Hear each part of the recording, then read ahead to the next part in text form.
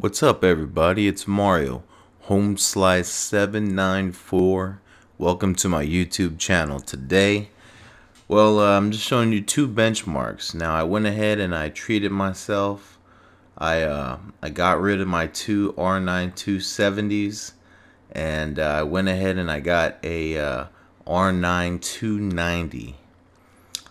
Um, the performance seems to be the same as the 270s in Crossfire but the compatibility with one R9 290 is a lot more uh, it's a lot more stable it seems.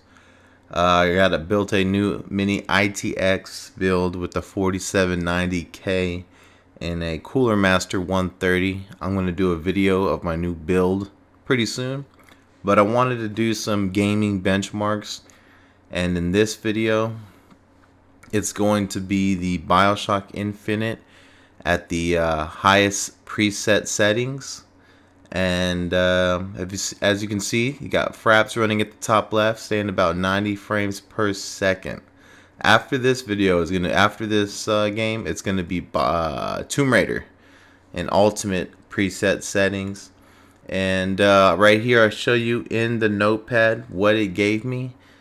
Uh, and pretty much it's on average 90.82 frames per second I take you right to the desktop. It asks you to show you the benchmarks right here.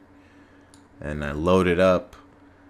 And if you can try to open up your screen, it says overall max one five 159 frames per second. The minimum was 15 frames a second, but the average throughout the whole benchmark was 90 frames per second. Next is Tomb Raider.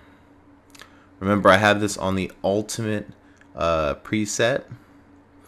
None of the uh, cards, the over the R9 290 is stock. It's not overclocked, and um, the CPU, the 4790K, is at stock as well.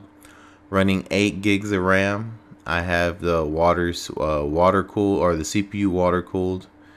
Uh, I'll make a build. I'll show you my build and this PC part picker with all the parts I used in a later video.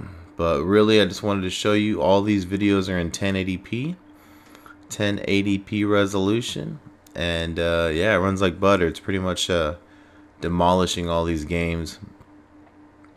I really just wanted to have a game, uh, something that I didn't have to. I didn't have to worry about tweaking the settings. I just wanted to put it in there.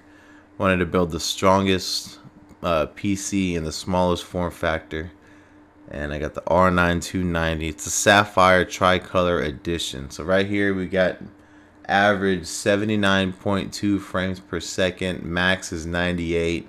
Minimum was 64. But that's it guys. Thanks for watching. I'm going to do some more benchmarking videos here in a little bit. Probably do them in two video increments. Later.